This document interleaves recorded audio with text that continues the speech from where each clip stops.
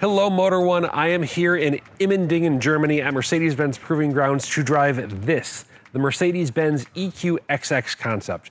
We've written a whole lot about this vehicle over the past few months, from its record breaking runs to the south of France and to the UK, and now I'm finally going to drive this ultra long range, ultra efficient, ultra aerodynamic electric concept. But before I get to that, be sure to follow Motor1.com on all of your favorite social media networks. The Vision EQXX is a rolling testbed for future Mercedes electric vehicles. The company set a target of over 600 miles of range on a single charge and consumption figures of better than 6 miles per kilowatt hour, and then it promptly blew those goals clear out of the water, covering 747 miles in a journey from Stuttgart to Silverstone in the UK.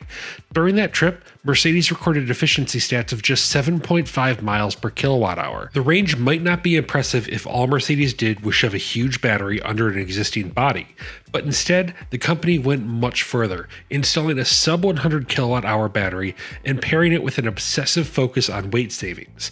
This thing has a carbon fiber number plate for crying out loud and the aerodynamics are incredible. The result is a curb weight of 3,800 pounds and a drag coefficient of 0.17, two figures that improve dramatically on vehicles with similar battery capacities and footprints. Consider this a Mercedes Benz EQS has a 107.8 kilowatt hour battery, but weighs 5,900 pounds and has a drag coefficient of 0.20. During 20 miles of driving at Mercedes Immendingen Test Track, the EQXX proved a couple of things. For a start, today's crop of electric vehicles have barely scratched the surface of what it means to be efficient. The EQXX's quest for efficiency, though, comes without many sacrifices. This is a Mercedes through and through. How do you like the feeling of the total car steering and everything? It's very, very light. And you were saying this is 1,700 kilograms? Yeah, it's, it's 1,755 kilograms of total weight.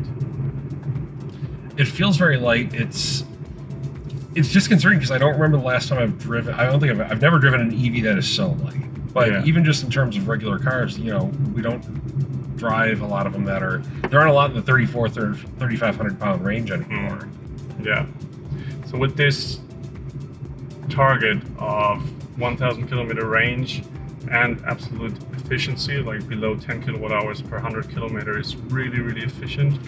Um, some things really fall nicely when you when you do the engineering work in that direction. So um, we managed to kind of go down a weight spiral. Like we um, left things out of some parts. For example, the battery is air cooled with this vehicle. Usually mm-hmm. you'll have a liquid cooled battery, but this is possible because the drag resistance of the vehicle is so low that you do not really need a lot of power to propulse the vehicle.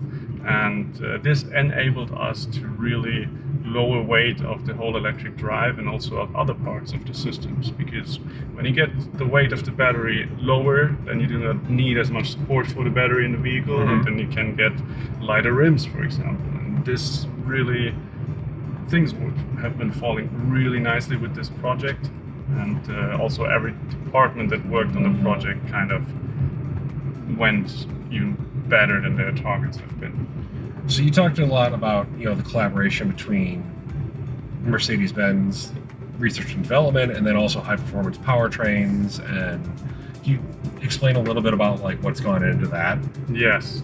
So we have been working very closely with uh, Mercedes Formula One engineers from High Performance Powertrains in Brixworth for the electric drive, and also from Brackley for the for the chassis. I'm an electric drive engineer, so us, we were working with HPP, High Performance Powertrains, and uh, the electric drive is really a product of collaboration between us. Like they bring this real racing spirit, working on short time schedules in the projects, and we brought in the experience in terms of testing how you develop an electric drive for a real road car, and this really went well together. Like, for example, for the electric drive unit, the engineers that did the magnetic designs and also the computer-aided design construction works are from Stuttgart, same engineers that do it for um, production car vehicles. And then the inverter was brought in by colleagues from HPP, High Performance Powertrains, and those parts they're like working completely close together, Mhm. as us engineers did then during the project, which was really good cooperation helped us all to realize what we have here. Okay, this is a long stretch you're talking about. That's a long straight. You can go and D plus all the way down this straight, and then you'll see it just rolls. There is a little bit of a queue forming behind us, but Ah, no worries. That's all right. Is this thing sort of like royalty around here on the on the proving grounds? Does everyone give it a wide berth? Yes, well, it is a unique car. We only have one of those, and everybody is aware of. Like, I mean, colleagues are asking me, "Are you really only having one of those, or are you only telling?" but I'm like, "Yes, we only have one of those." Driving this car on real roads, um, yeah, is kind of. Uh, it's a great experience, but also you keep on thinking, well, don't do anything wrong. Hopefully, no one else does anything wrong and crashes into the I, I don't think car. I don't think I could drive this on public roads. I don't I don't have enough trust in the in the average average commuter.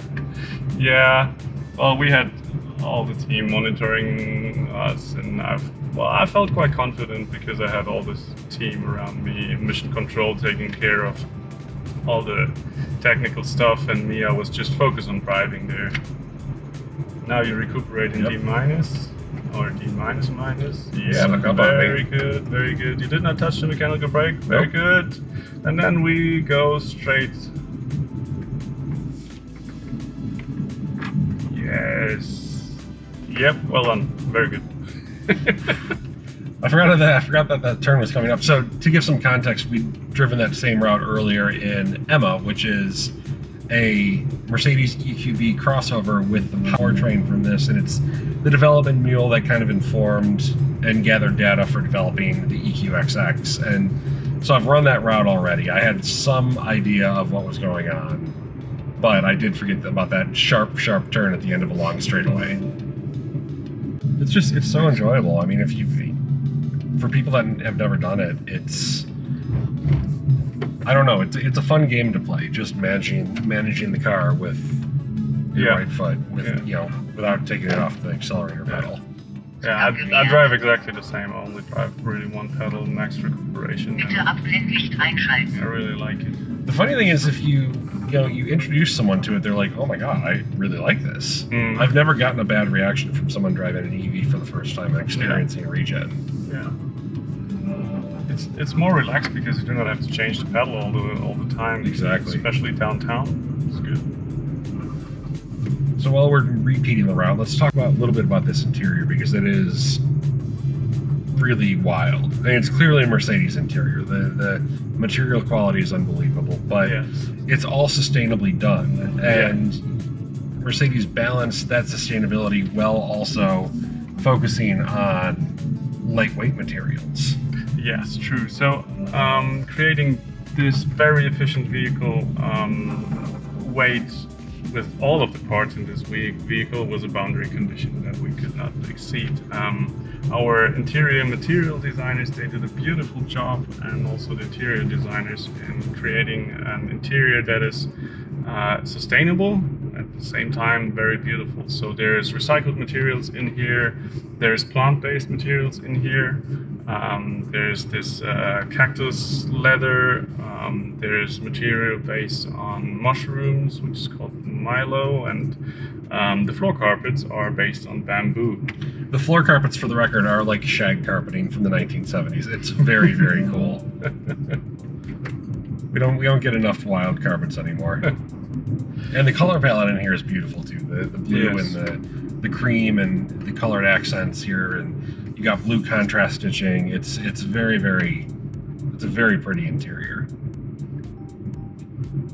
And not as not as tight as I thought. I, I expected to get into this thing and kind of be short on space, and it's it's plenty roomy actually. Yeah, Can't wait to see more of what was learned here applied to the other production cars. Um, especially all this, like the just the sheer breadth of information that you have your, at your disposal is Yeah. is wild and really makes you know you can adjust your driving style based on what you're seeing to maximize yeah. range, and it's great. It's it's epic. The good thing is that uh, this is part of a technology program that we set up to speed up our EV development. So we're using EQXX as a foundation for our future production cars. So uh, you're going to see parts of this in future Mercedes production cars. Can't wait. All right. So there you have it. There is a lot to unpack about this drive experience. The EQXX is really unlike any other kind of electric vehicle I've ever driven. You have to change your driving style. You have to do what you can to maximize range and it responds beautifully. I don't know exactly how efficient I was and where I ranked with the rest of the media on hand, but you can go to motor1.com to read the full story and find out just how things shaked out.